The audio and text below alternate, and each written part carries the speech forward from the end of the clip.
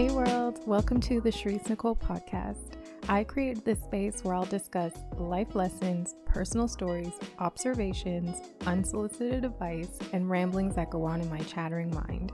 Every so often, I will pull in guests to provide different perspectives and discuss a range of topics from nutrition to travel and all things in between. So, without further ado, let's get into it.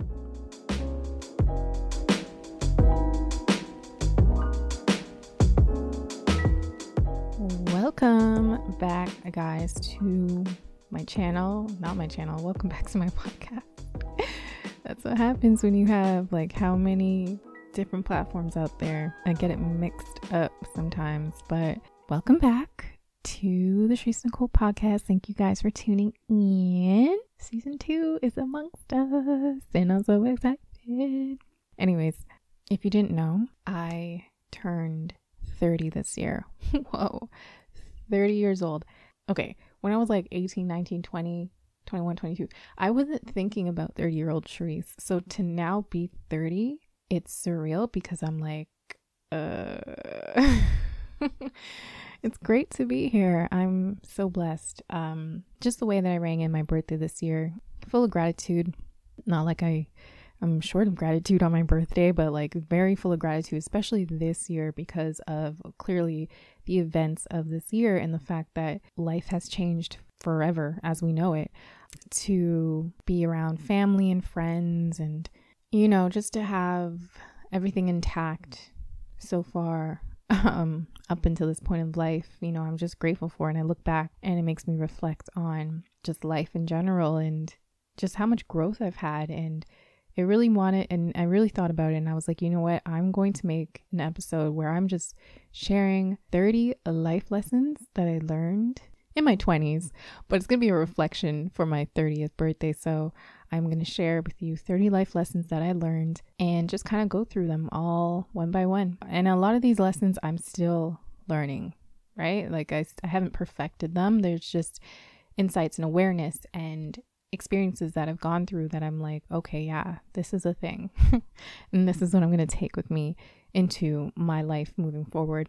Everything happened as it was meant to happen at the right time it was meant to happen in. So I'm just grateful for all the experiences that I've lived throughout and everything that's ever happened in my life. But to start it off, um, and I think this is top of mind. And this is in no particular order or list of like what's a biggest lesson versus what's not a big lesson. These are all pretty big to me, but I just kind of jotted all of them down as they came to mind. So, number one life lesson that I learned throughout my life and mostly through my 20s is self compassion. So, I'm actually going to drop a blog post on self compassion, what that means to me. To me, anyways, it was a new term that I just learned about. I was reading a Medium article about developing self-compassion and Renalyn and I had a had a podcast episode about, you know, self-compassion as well, but I honestly only heard that term up like maybe like 3 years ago. And I was like, self-compassion like you can you can do that for yourself. So I read into it, I learned about it, and I realized that I never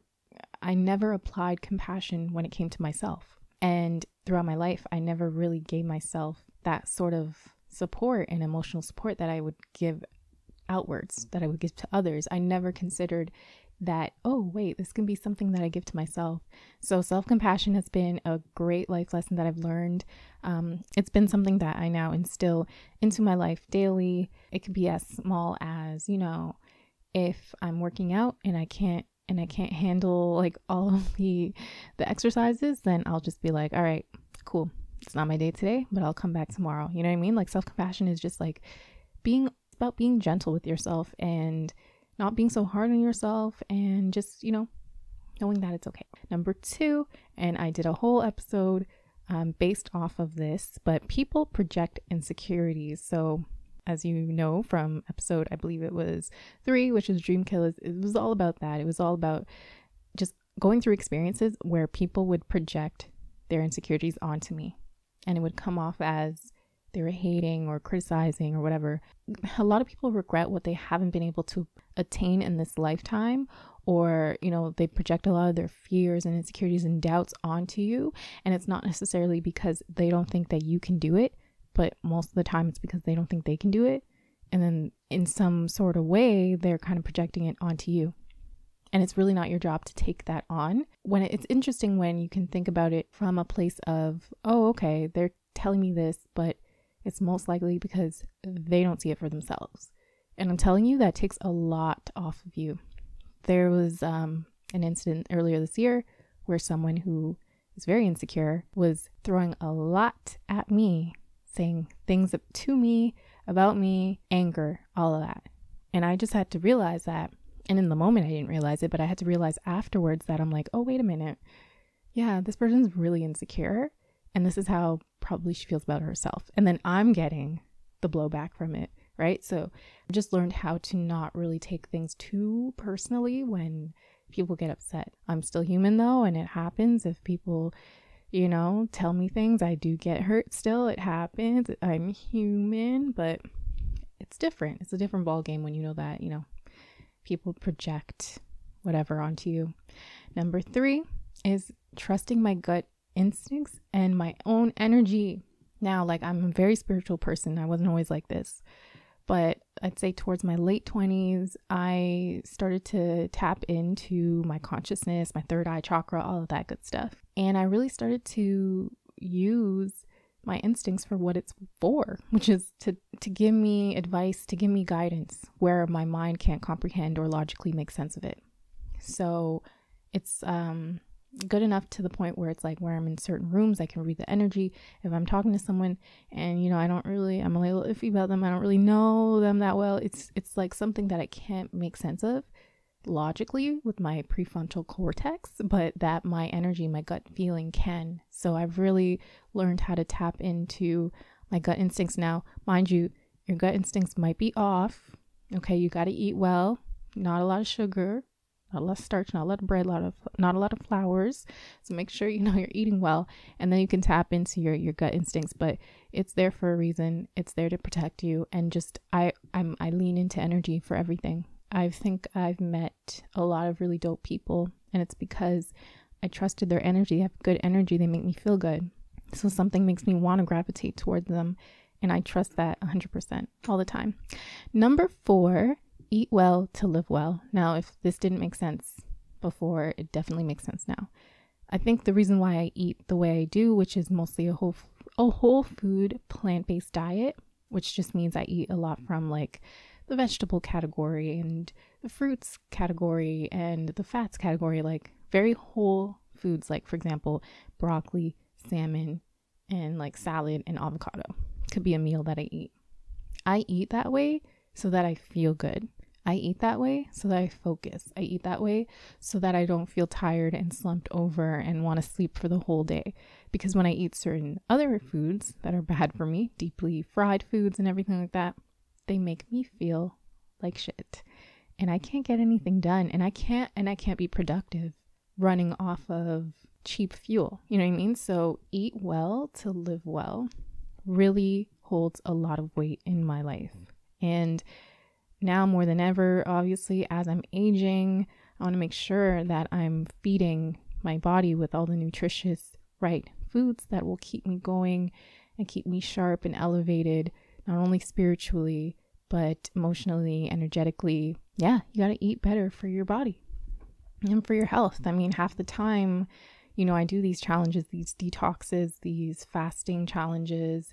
It's not because I'm I don't like food or I like to discipline myself. No, it's because of the greater good.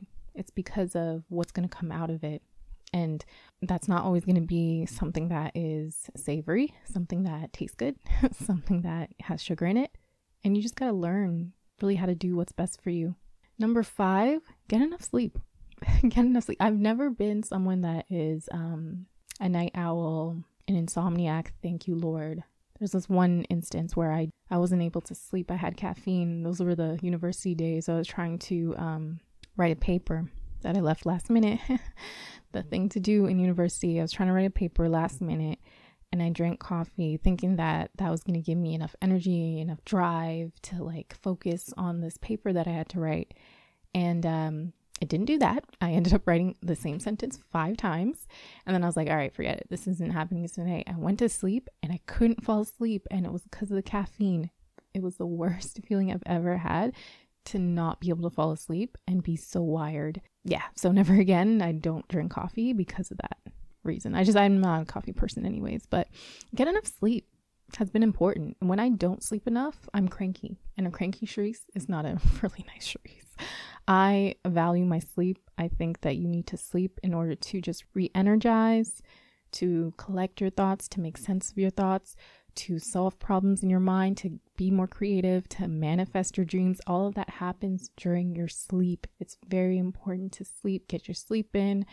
I don't think it's cool to be like, oh, I don't sleep. I'll grind no day. I'll grind all day, no sleep. Blah, blah, blah. Okay, great. Yeah. Anyways, I'll you can find me in the bed getting sleep. So, anyways, number six, move your body. Okay, like we did this when we were kids. We we would you know bike, we would run, play tag, skip rope, all of that stuff. There was so much activity I did, so much cardio I did in my childhood, and then you know when you got to teenage years um, unless you were in sports, which I wasn't, unfortunately, that kind of took a, a hit. And then in my adulthood, I kind of had to kind of, I had to make sense of like movement and activity and working out. Um, but I'd say within the past two years, I've developed a really good fitness regimen where I enjoyed it. I enjoyed lifting weights. I enjoyed cardio.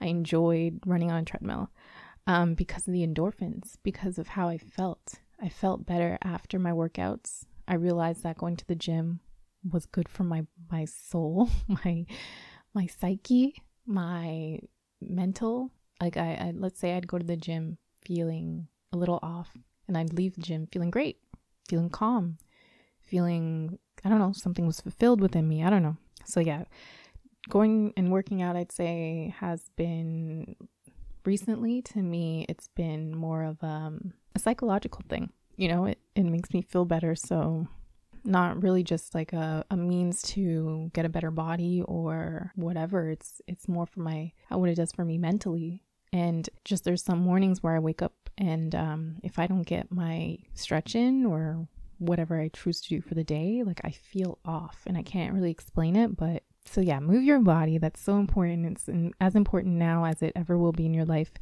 And especially as I get older, like you need to continue moving. You have body, you have limbs, you have this and that for a reason. Use it. Number seven, identifying a self care regime, regime, regimen, routine, all of that. It's been really important to me to have something that I can lean in for myself that helps me recharge my own batteries. So for me, my self care routine is, you know, eating well, sleeping well, exercising, journaling, so many things, right? And it's just something that I can tap into for myself that makes me feel whole. I find that when I'm just going, going, going, and I'm not taking time to relax and do something for myself that's going to better myself, that it's just going to mean that a train wreck's ahead. So, identifying a self care routine is super important, especially now and as I grow older, because you get to know yourself a lot better and you get to know what you like and you enjoy. And you need to kind of keep up those habits as as you get older. It's just so important. So yeah i, I don't think i've had i had a self-care routine when i was 20 so it's really cool to um now be 30 and and have it in mind like and and just know exactly what i need whenever i need to recharge number eight it's okay to say no and i still honestly have trouble saying no i mean i don't think i say no flat out I say no in other ways. I'll be like, um, I, will see if I can get around to that sometime. You know, I mean, like, but it's just easier to be like, no. I think give me two more years, I'll be okay with saying no. but it's okay to say no. It's okay to not be able to commit. It's okay to not want to go somewhere with someone. It's okay to not agree with someone. It's okay to, you know what I mean? Like, it's okay to say no. It's okay. People that get mad or upset at you just are people that never had a difference of opinion told to them before. And it's weird that, you know, people will get mad at you saying no, anyways, but it's your life, live it how you want, and it's okay to say no. Number nine, not everyone is going to like you. Okay, when I was in my early 20s, I'd say high school, early 20s, I was always, I wasn't like someone who knew everyone and had like friendships with everyone. No, I was kind of like the girl that was just in the cut and pretty shy, pretty low key. Um, but I didn't think I was disliked. But there were still some people who would pick me out of a crowd and be like, I don't like that girl. Maybe they only had one conversation with me, one interaction with me where I was quiet into myself that they misconstrued as being, you know, a bougie black girl, which is all on them, not me. I don't care. But based off of that one interaction, they'd be like, nah, I don't like her. And then I remember people would be so mean to me for like literally no reason. It could be something that they heard from someone, or again, like I said, just an interaction with me that was off, that they kind of were like, yeah, no, she ain't it. and they'd be so, and they just have a chip on their shoulder, and I just wouldn't understand it. And, anyways, when I was in my early 20s, I used to, that used to bother me so much because I was like, what? I'm an amazing person. Like, how do you not like me? Nah. Nowadays, you don't like me? great keep it moving i really don't care because in my life now i see it as the story that you want to make up of me in your head has nothing to do with me that's cool and you know i have people in my life that do like me and do take the time to get to know me truthfully and you know so i mean i lean into that i focus on them i don't really care about who else doesn't know me that doesn't like me i really don't care which leads me into lesson number 10. It's not your job to convince people to like you. So those people that have whatever idea of the of me in their head as they do, that's their problem. That's a you problem. it's not my problem or it's not my job to kind of go out of my way and convince you otherwise. And again, early 20s, I used to feel like that. I used to be like, "What? What do you mean?" Like, "Oh my gosh!" Like, and then I used to be like extra nice to compensate, but I don't care. I don't know. That's Sag energy. I really don't care. Your loss. Number 11, flowing, not forcing. That's one of my mantras of life. Flowing, not forcing like a river. I think in life, I used to, and I still kind of do it today, but in a lot of my 20s, I used to try to force things. I used to try to control things. I used to try to like have an, a, a good idea and handle of what was happening, when it was happening, where it was happening. That's a lot of resistance. That's a lot of forcing. I can't force. I can't control everything about life. I can control how I react to things, right? Which kind of taps into the flowing aspect of life. I can be a little bit more open, a little bit more flexible. So, just flowing, not forcing in so many areas of life can really save you from stress, can stay, can save you from a lot of things that are out of your control. So, flowing, not forcing. Number 12, you are your biggest obstacle. So, accountability, reflection, and self sabotage, which is honestly its own episode. But had to learn in this precious life that sometimes I was the one that got in my own way. I'm my biggest obstacle. I am my biggest everything. You know what I mean? So if I can get past me and my thoughts and my self sabotage, then oh my gosh, look at all the things that I can get done. So sometimes it it takes, you know, that reflection to just actually ask yourself those hard questions and realize that maybe you're the problem. Maybe I am the problem. Maybe maybe it's not what happens to me. Maybe it's about what I'm doing. Maybe it's about what I'm entertaining. So, yeah, that's a hard one to swallow, but definitely important. Number 13, drink more water gosh, there's some times where I'm like, I have a headache, or, you know, I'm constipated, or I'm just like not as bubbly as I can be. Maybe it's because I'm dehydrated. Drink more water.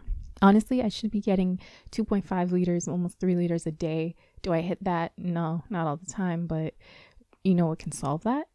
If I drink more water. Number 14, do what makes you feel happy and good. And this is something I learned or had to learn um, in the past maybe like two, three years because I find that I do things for other people.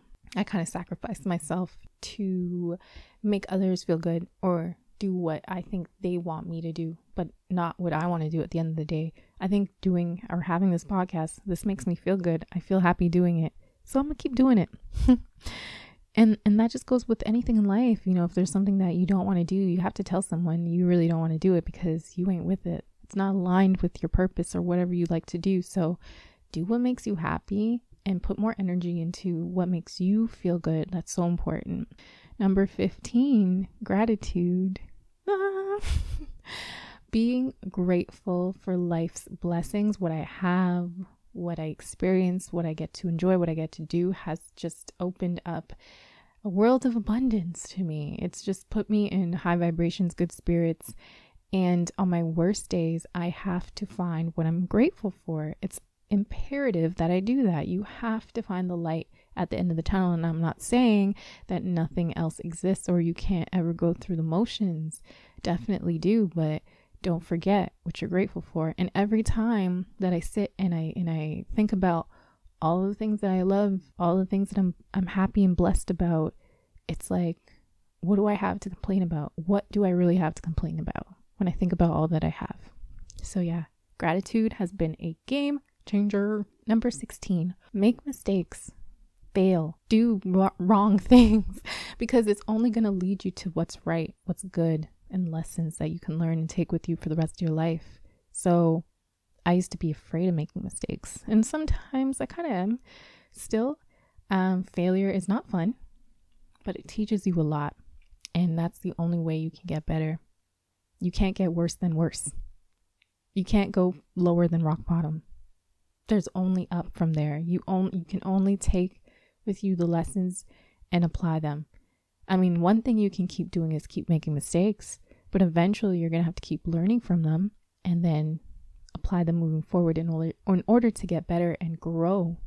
That's what this life is about. You have to, sometimes it's going to happen.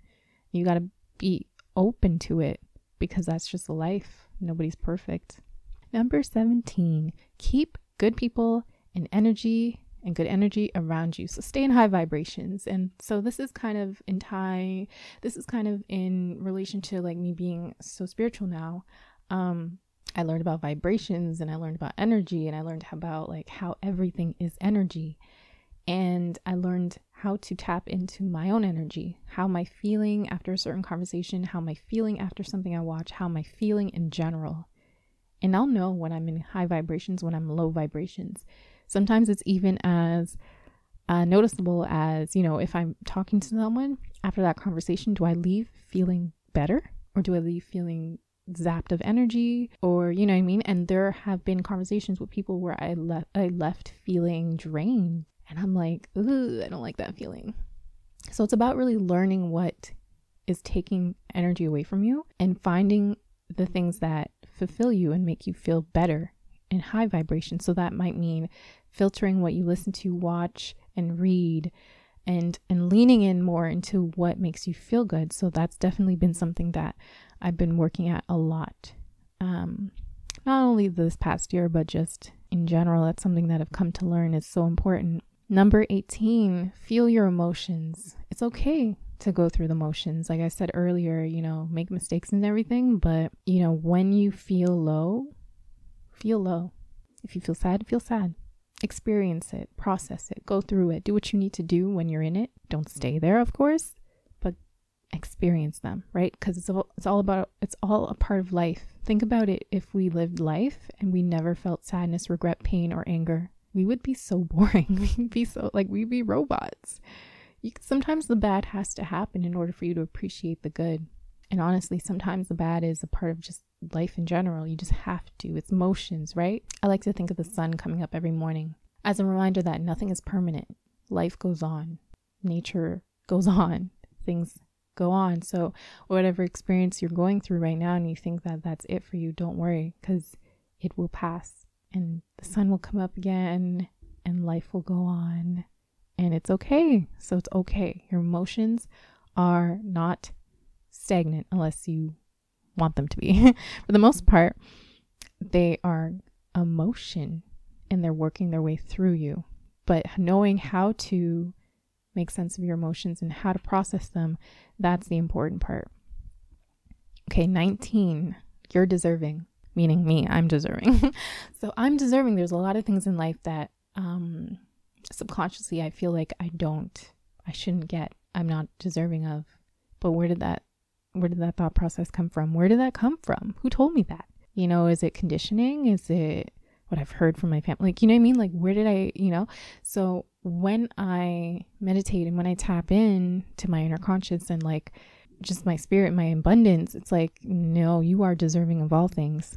And so when things happen in my life, I have to catch myself and be open and accepting of it and just know that I am deserving, period.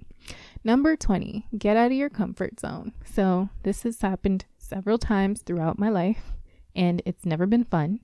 Um, But, you know, I know that growth is at the end of my comfort zone. I think I learned early on in my 20s that I was like, I cannot. For example, I had a job in a call center and I knew that that was not it for me. I knew that that was not it for me. And I remember really wanting to work at American Apparel, which is a retail store. I really wanted to work there, probably because I wanted to wear their clothes. But, anyways, I remember going to the interview twice or three times. It was like an open call. And uh, I didn't get it the first time. I went again the second time, and then I got the job. And mind you, that was like going to be my ticket to like just public interaction and speaking to strangers because before that I had only worked in a call center seeing the same people every day all day and then before that was just school seeing the same people all day every day. This was going to be a retail job where I was going to be exposed to people that I didn't know, strangers, and I'd have to initiate conversations and things like that. So when I got that job, I was super scared. And I, I remember my first day on the job, I didn't know what to do. I didn't know how to say, Hi, can I help you? Like, I was so scared. It's so funny thinking back on it right now because I literally had zero people skills. I had no, I did not know how to talk to strangers. I didn't know what to do. I was so scared. I was like a mouse hiding, hiding in the store. I remember my manager would be like, You can go up and talk to them. And I'm like, Okay. And I remember just watching the other associates and just copying them, just doing what they did. And through that job, I learned people skills. I learned how to talk to people. I learned how to hold conversations. I learned how to initiate conversations with people. So that has been that that job gave me really uh, important experience that I took with me throughout the rest of my life. And now I'm at this point now in my life where it's like you can leave me in a room full of people that I don't know and I can be okay. You know what I mean? You can bring me to an event or social and I'll be fine. You know what I mean? Like, it, trust me, that is really important to learn. So I'm glad that I purposely put myself in a position where I knew that I was going to grow and that it was I was just going to be like thrown out there and forced to learn how to talk to people because I knew that's that I knew that's how I was going to grow. So, getting out of your comfort zone intentionally will have its benefits. It's the only way to grow. Number 21, make time for yourself. So, I mean, I guess that's related to developing or identifying your self care routine, but making time for yourself means, you know, if you want to work out, you make time to work out. Everyone has time to work out, period. There's 24 hours in a day. What are you doing for all those hours? If you can block out t- even 10 minutes and say that you're going to dedicate that time to yourself to work out, that's making time for yourself. Congrats. Pat yourself on the back because that's a big deal. And for me, when I when I think about meditating, I don't always make time for it, but I always can, right? And I think you should celebrate the time that you do make for yourself when you commit to yourself. So making time for yourself to do whatever you need to do to put yourself forward or to do something that's good for you is a really important and it's, it's an important life lesson that I learned. Um, yeah. Number 22 re strategize, reorganize, and replan as many times as you need to. This is a big one because in life, I feel like it's almost looked at as like a failure if you are to start something and then backtrack and then start something else and then backtrack. It's like it's a one way ticket. You can only, as soon as you launch it, have to continue moving forward. No, actually, life isn't perfect like that. And there's been so many projects and things that I've decided to do where I've had to just kind of like backtrack and be like, wait, I don't like this. I need to figure it all out, especially with all my content online. Like I put it out, I think it's one thing. And then no, I have to re strategize, I have to reorganize, I have to figure it out because sometimes that's not what I want to put out at the end of the day anymore. So I've learned the art of re strategizing, reorganizing, and replanning because that's just how it works. I have to sometimes take five steps back, five steps back, even when I think that I'm moving forward. But I don't honestly look at it as I'm going backward. I'm still always going forward. I'm just kind of recalibrating and making sense of things. And that's fair and that's fine to do in this life. Number 23 no one really knows what they're doing. Okay. Everyone is figuring things out. If there's anything I learned my last job, there were a lot of smart people there, a lot of smart people there, and they were like 25, 26, using big words and everything. and I used to be like, oh my God, they're so smart. They're so smart. listen, they didn't know anything. I'm okay. They knew what they were talking about to an extent, but they really played up. They really played up how confident they sounded because I feel like at the end of the day, no one, not even the CEO, really knew what he was talking about. But they you they could fool you to make you believe that they knew what they were talking about, and that's all that matters. So just know that you know when you look at some of these professionals out here on on Instagram and everything like that, that they're trying to figure it out themselves. They're still working it out.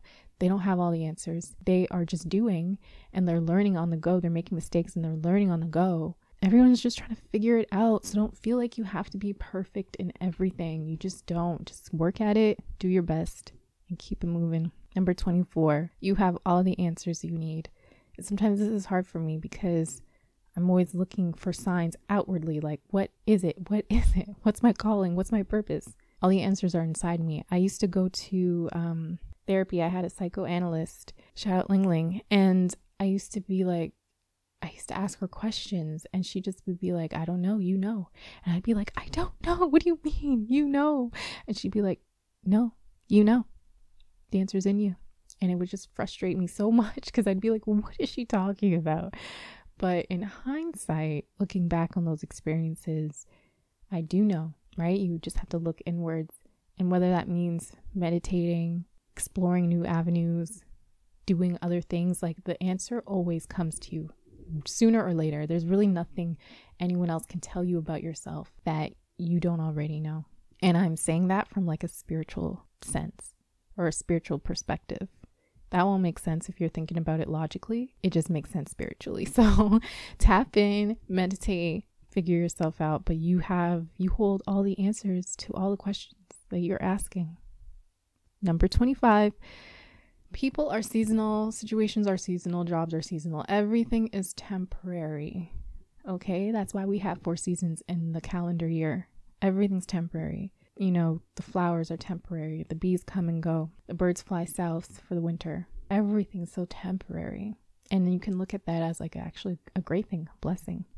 I think about it in terms of people, it's a little harder because it's like, oh, you think some people are permanent in your life. Everyone's going to die, to be honest. Sorry to break it to you. So that alone tells you that people are temporary. But even if it comes in form of relationships, friendships, temporary, all temporary.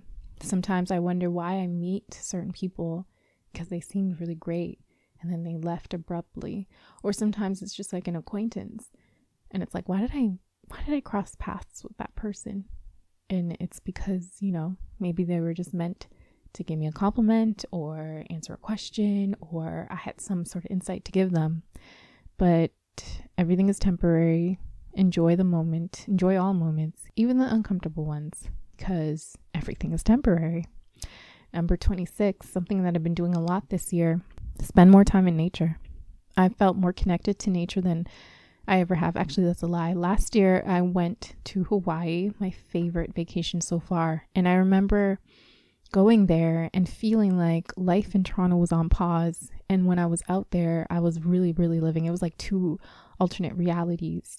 And I just remember being surrounded by the water and the trees and the birds and the fresh fruit. And it just gave me so much life and an energy that I can't even explain but being out there was so restorative to me, so healing to me. And, you know, I mean, I came back into the city, into the grind, into the, you know, concrete jungle. And I was like, ugh. I was like, I miss nature. And so this year, you know, with everything being closed, I started to discover hiking and, you know, just these nice trails around me and biking and just being in nature again and realizing how, again, restorative it is. I remember once I had a headache and I took a walk through the park and amongst the forest and everything, the trees. And honestly, I felt so good. I felt good. My headache left and I was like, wow, thank you, nature. Like, this is great. Number 27 manifestation is real. Okay? Law of attraction is realer. Dream it, then real life it if there's anything that I've learned in the past three years, is that I create my reality by my thoughts, the things I think. I think my thought, my life right now is a is comprised of the thoughts that I've I've carried throughout my life. A belief is a thought that you think about constantly. Our minds are our blessing or it could be your enemy, your worst enemy. You have to know how to use it properly. You have to know how to use it to your advantage. Because if you let anything overcome you in your mind, you're done for. Not even like it just it makes no sense. So if you already defeat yourself mentally, you're done.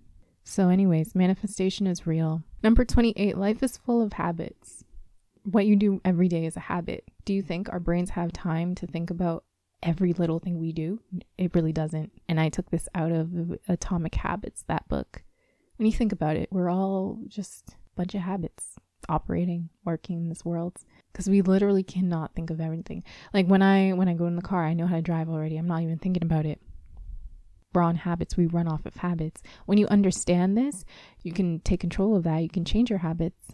You can also like take out things that maybe you do that are hindering your progress and growth. But I think it's really important to realize that, you know, we're full of habits and understanding that I can change my habit loop. It doesn't have to I don't have to be like a victim of, you know, what I do every day. But anyways, number 29, learn every day. Remain a student. I don't know it all. I don't want to know it all. I'm constantly learning, I'm constantly growing, I'm constantly improving and practicing and getting better at things. I don't know it all. I'm learning so many new things. I mean, if anything, like recently, I've started to learn about my power being a black woman, my melanin, learning about life, being open, and just learning in general has changed my life for the best. I don't I remember saying like after university, I was like, "Yep, I'm done with that institution, never going back." Honestly, it's like true. I'm I'm not going to go back, but I've never stopped learning a day since. It's just different type of learning, and then there has to be some learning that you want to learn about. You know what I mean? You have to kind of put yourself out there and continue learning and continue growing. Listen, keep using that muscle, which is your brain, to get you forward. And lastly, my last lesson is celebrate the small wins. Life is about perspective. Fail forward. Don't stay low too long. Be grateful and appreciative of what you've accomplished and experienced and learn to look at the bright side of things. And I know that I don't mean to never ruminate on what didn't happen or what went bad. Experience that. Allow yourself that much. But then learn how to move forward and go ahead afterwards. So that was my list of 30 life lessons at 30. A lot of these were learned throughout my 20s, of course. And I just feel so wise going through my list and and you know giving you a breakdown of all of these things that I've experienced and I can't wait until not even the next 10 years but even within this year how many more lessons I'm going to learn on top of that. I think um turning 30 to me feels like any other day. I don't feel any different. If anything, I feel like right now I have better direction in my life and more intention. I know how to go about doing it. Um, but I'm still learning along the way and I'm still growing every day. So I'm I'm not being too hard on myself because I'm not at a certain place in my life where I think I should be using quotes right now where I think I should be. I don't know. I feel like I'm in a good spot right now. I'm in a good place right now. Um I'm grateful for the life I've lived up so far, and I'm grateful for you for listening this way through. I hope you learned and can take some of the life lessons that I've experienced and apply them to your life and grow and excel in your life. But yeah, I want to thank you guys for listening. And until next time, guys.